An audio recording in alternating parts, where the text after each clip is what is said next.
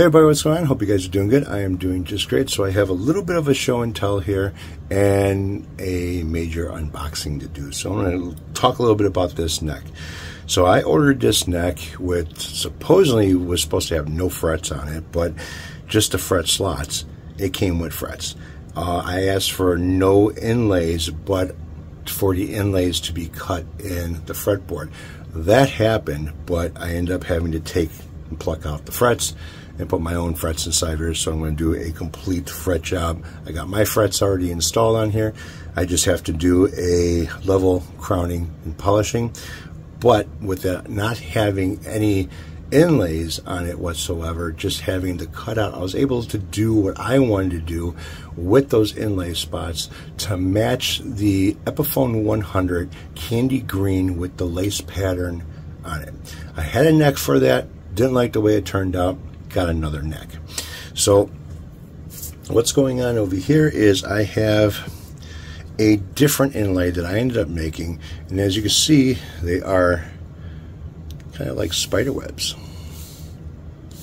and that kind of matches the theme of the body. Now at the 12th fret, I end up putting my own logo inside there, which is kind of cool because I was able to find a program, which actually is not really a program, it's a website that you can uh, resize photos into thousands or inches, millimeters, or whatever, and print them up from that website. Download the print so you can always have it and be able to cut out what you need to make whatever you want to do, in this case, inlays. So I have some vinyl uh, printing paper, which is not really paper if it's made out of vinyl, and I was able to make my inlays print them out. Now the vinyl paper has got a adhesive backing on it, which is kind of nice because not having anything in these inlays, glue or, or whatsoever, it's a nice clean cut, nice square edges, pointed edges, everything else really nice. Flat bottom, I was able to stick the inlays to it with the self-adhesive that's on them. Well, the paper, I can't say inlays because they weren't quite inlaid yet had no problems with any corners peeling up, no problems with anything as far as lifting goes. Didn't have to use any CA glue to hold them down. Well, after doing the fret job over here, I don't have any more CA glue, so I have to get some more of that. I always use like a medium. I've got medium, uh, heavy, and then I have like light to light where it's like water, thin, if you want to call it that. Now, the epoxy resin that I use is something different. It's called liquid glass. Instead of being a one to one, it's a two to one. So it's two resin to one hardener. And what I'm used to using is something else where it's a one to one, where it's one part hardener, one part resin, uh, but it's a thicker consistency than the liquid glass is. So it's a little bit harder to get bubbles to rise to the surface, and you got to keep going over it with some type of a heat, as far as like either a torch or a lighter torch, some that I use for something small like this, to get those bubbles to rise to the top. Now, with the liquid glass, because it's such a thin consistency after you mix it, it is very easy for the bubbles to rise up. Now, the only problem with it is, is because it's so thin, it doesn't form a bubble over the square openings of what you're trying to fill. The thicker stuff kind of makes a dome over it. You can kind of overfill it without it kind of going off to the sides and, and, making a mess of whatever project that you're working on. With this one here, it's a little bit different. So I had to build it up and build it up and build it up until uh, I, I was able to sand this to get my radius in the fretboard. Now, the nice thing about this is, like it says, liquid glass. It's very clear. It's very durable, very hard. Um, it works out just like the one-to-one that I was using before. Now, I have a plan for the, the liquid glass, and I bought some tools to help me with that plan. Also to uh, do a few other things as well that I'm going to try getting into. Now, like I said, this is neck is for the Epiphone 100, the candy green, with the lace, which is basically skulls and spider webs. So there's the theme. A lot of you guys were saying that you like the way that the uh, Les Paul body looks with a pointed headstock, so that's what I want with this as well. So now all I have to do is get this thing sanded down and painted. Um, fretboard is basically complete. Now this is not a rosewood. I can't remember what he said that this was, but as you can see, it's got a kind of a sheen to it, almost like a gloss like the inlays do. What I ended up doing is after I sanded down the inlay part over here, which I had to sand the whole fretboard in order to do so because of the radius, uh, I went through the different steps of sandpaper for polishing, okay, because I had to because I wanted to polish out these inlays to get them to look like glass. The one thing about it is, is you're also polishing the fretboard. So when I buffed them out, I buffed the whole fretboard out, and there's no open pores in this whatsoever. This is very tight, so you're able to get a sheen on it like this. And there's no oil on this fretboard whatsoever. It is has not been oiled. Can't oil it because if I try to oil it, I'm not going to be able to install the frets to it, which I already done and I won't be able to put tape on this because the tape won't stick if there's oil on it in order to complete the fret job. So we'll put this off to the side right now. Let's get into some of the unboxing that I got going on because I accumulated quite a few things. All right, first box here. Let's get this thing open.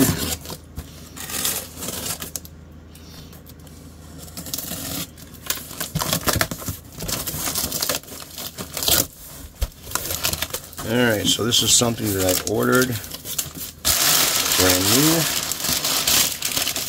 And the reason for it is because of, well, when I get it open, you'll see what it is. Make sure it's What else is in here? Not just a piece of board. Alright.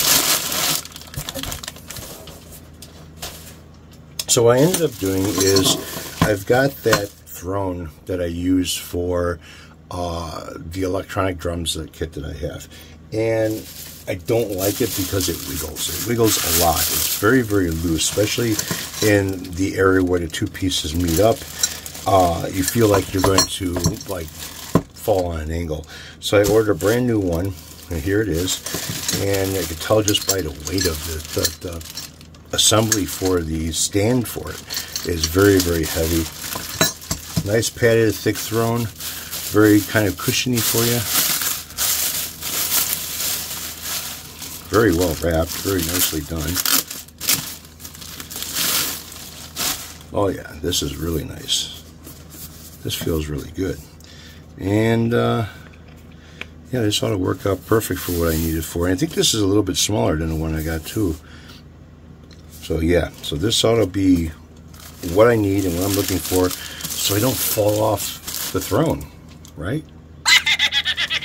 Alright, so this is something that I ordered to go with the epoxy resins that I want to kind of get into and do a little bit of uh, experimenting with.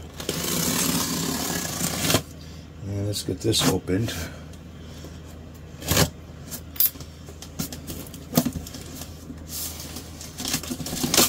Put a box in a box, right? Oh, no, it's not. All right, so this is supposed to be a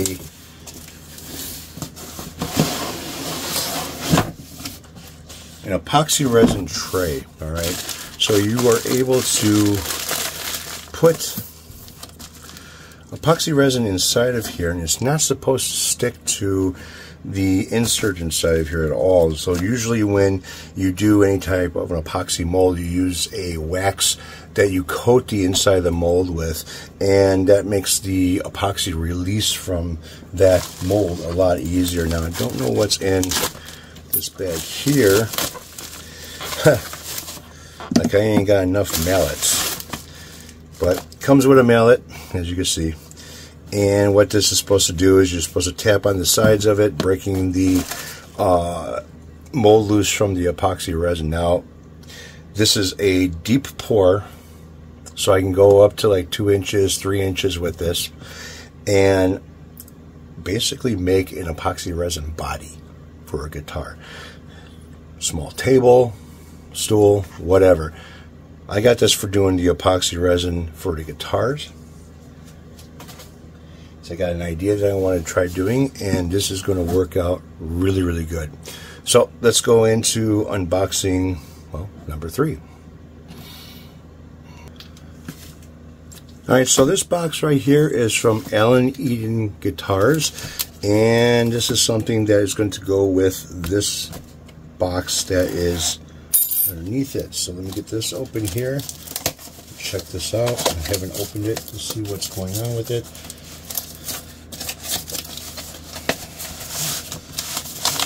All right. Another rubber band.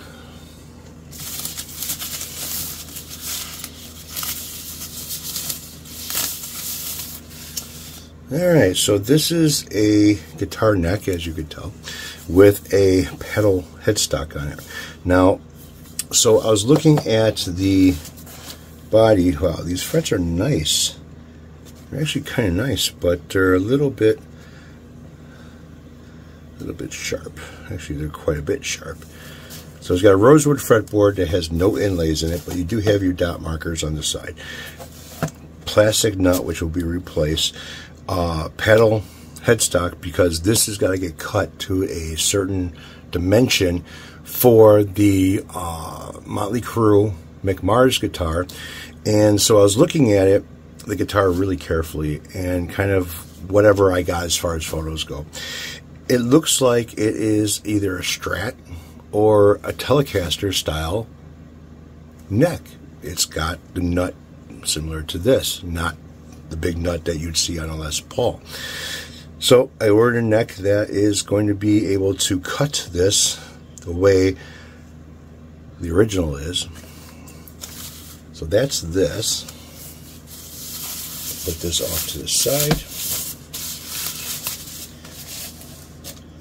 Now I bought from Alan Eden guitars before as far as necks go and stuff and they're not bad necks as, as far as the quality now this behemoth right here is basically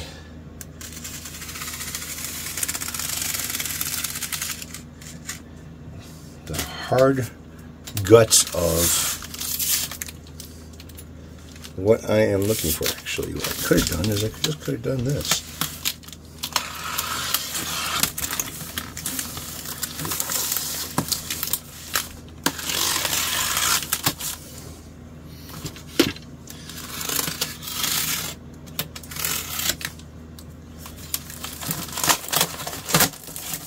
All right. That fresh wood. Wow. So this is a piece of basswood. And we got one, two, three pieces that are glued together for the body. And it is really nice and really fucking heavy. It'd be nice when I cut this up and get rid of a lot of the weight that's on this thing. It's supposed to be dried. It's supposed to be, um, you know, ready to build. So all I'm waiting for now is just my template. And then I can start cutting out this big enough for the star guitar.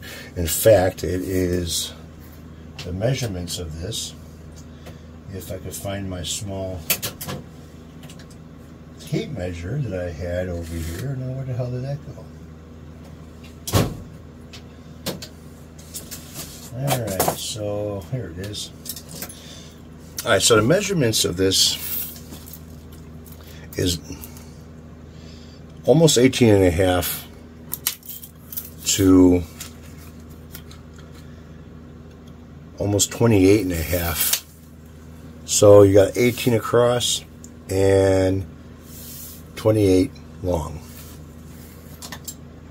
That should be plenty big for that star guitar. So I'm going to put this off to the side. Get my extra cardboard here. I want to keep this thing protected as long as possible until I start doing my build. Which means I don't want no sharp edges or anything else hitting it. Be right back. Alright, so I have a Amazon bag over here. Let's get this thing open. And no, I don't buy, I don't have an Amazon card to be purchasing stuff with. All right, so this here is resin tape in different sizes. Now, resin tape is could be used for molds. It could be used for seaming up uh, two pieces and leaving a gap in the middle. The epoxy resin is not supposed to go through this. Uh, I have a plan for a Jackson V guitar that I'm going to end up using this on to kind of uh, give it a custom look as well with some epoxy resins.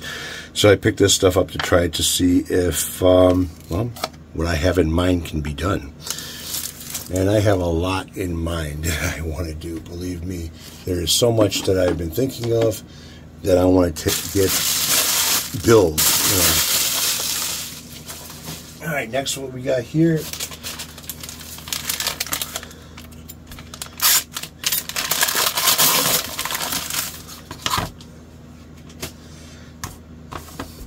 This is the Wilkinson's bridge that is for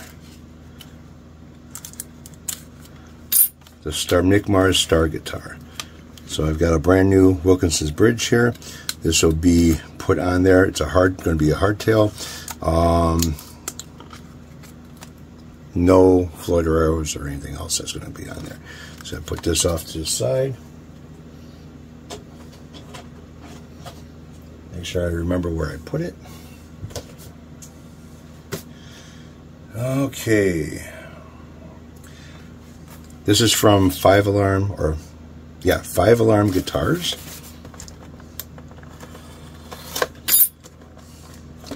And let's see what this is. Alright, so these are Floyd Rose templates. So when I start doing the Floyd Rose uh, project that I have coming up later on, I've got brand new templates because I end up cutting up the templates that I got to use for other things other than a Floyd Rose template.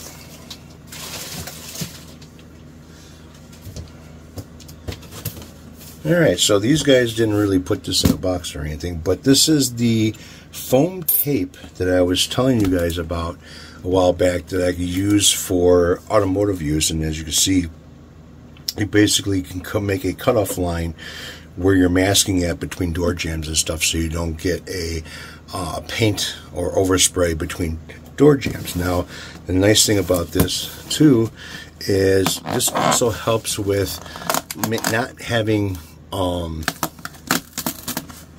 let's see, how do I explain it? Not having sharp tape lines, all right? So here's the roll, and you just pull it up like this there is adhesive on this side and no adhesive on this side. So when you take a piece of this and you end up putting it, say, on this box. And I take this and I'll go around the edge of it loosely, not tight. So when I do a spray to fix a chip or something, and I don't want to have to or don't need to spray the whole guitar or anything, uh, what happens is if you spray straight onto this, it makes a shadow underneath it, a very light coating of paint, while it focuses on the area that you're actually spraying and need to paint. And when you peel this off, you'll have a fade between the old surface and the new surface. Makes it easier to blend the paint, buffing it, sanding and buffing to get things to match up with each other, which in my case, I've done it a few times already with just roll tape. Roll tape is not cutting it. This stuff works really good. I picked this up off of Amazon as well. Last but not least is something that I've seen uh, another YouTuber get or buy or have or whatever. And you kind of know me with, with, with headphones, all right? I'm still looking for the perfect either in-ear bud or some type of a headphone that doesn't get shoved all the way inside your ears in order to listen to music and enjoy sound quality. So I picked these up because another YouTuber said so. No, not really, because I wanted to experience it myself. So this is the LYTMI, and these are the uh, Cozy Clip open ear buds. And I've been wanting to try these out ever since I've seen them. Um, I kind of read some stuff about them. They seem to be all right, but depending on what I consider sound quality and what others consider sound quality may be different. So what I'm going to end up doing is throwing these on charge. I'll do my own review on these as far as how they sound because, you know, I'm into sound quality, always have been. Uh, I consider myself a audiophile, uh, especially with the home equipment that I use, plus with the car audio stuff that I got into. Always looking to be able to listen to music um, and not have to listen to a lot of compression. Uh, I've got albums, I've got record players, I've got, you know, I still have some reel to reels. Hell, I even have a few 8 tracks still. Don't have an 8 track player anymore, but I still have 8 tracks. I have a shitload of cassettes, and, you know, this is, I like my music. So this is going to be something that is really going to kind of tell me if you know, if I use it with my phone, if I use it with my computer, if I can use it, I probably, I know I can use it with my receiver. Um, if it's going to end up giving me the quality that I want. Now, the in-ear buds, like this stuff that I bought, the EMM Personal, these work really, really nice. They sound really fucking good. And these are more of a monitor than anything else. And the Bluetooth does not disconnect, has not disconnected, haven't had any problems with disconnection. I was able to leave my phone in my garage and be able to walk around in my front yard and cut the grass with these things without having any dropouts. Um, the only thing is the around the neck thing. I'm not too crazy about it, but you know, it is what it is as far as battery power and everything else and recharging. The sound quality of these is really, really good. I'm very happy, even though they are an in ear bud where you really need to seal them in your ears. They cut out any outside surrounding noise, which that's something I like, um, but can also be um, a problem especially if you're doing something, riding a bike or whatever, and you know you got to pay attention to your surroundings. But as far as sound quality goes, as long as you got them sealed up in your ear, you have mids, highs, and lows. Lows sound good, mids sound good without sounding like there's any added mids. Lows sound good without sounding like there's any added lows. And your highs are even, they're there and it, it's crisp and clean. These here, once I kind of get an idea of, you know, let's see how you open this. All right, you open it like this. Once I get an idea of what these are going to sound like, because these are not in ear, and I'm not too sure if these are going to provide the sound quality that I'm actually looking for. They might end up might end up giving them to somebody else. They can use them for whatever they need. So there's really not much here but a booklet, power cord, and its holder. So it's USB rechargeable. So I'm going to go hit these, plug them in, and recharge them. I have so many of these damn things. Okay, I can use the phone plug to recharge these instead of having to use, because I think this is that C. Yeah, this is the C, USB-C. So I plug these in, let them charge up, and kind of see what they sound like a little bit later on. If I like them, if they're useful, then great. I'll be able to use these. If I can adjust with an equalizer and get um, you know, if there's too much mid to it and I can kind of like tweak it with an equalizer, then that'll be great as well. If not, and they still sound like ass, well, then I'm getting rid of them, you know. Nice little egg, isn't it? All right, guys, so I kind of listened to these cozy clip, whatever you want to call them, uh, on ear, I can't say in ear, but on ear headphones. And they got one part of it right. Um, they are cozy, but the other part I will have to get into later as far as a video goes because there's a lot that, uh, let's just say, I wouldn't waste your money on these. And there's a couple of reasons why. not necessarily sound quality because they do sound pretty decent. It's just the location and how the speaker on this little bud and the distance between your ear, canal um, really makes a difference of how these sound. So I'm not going to get into it right now, but that'll probably be a later video. You guys take it easy, have a good one, and I will catch up with all you all later.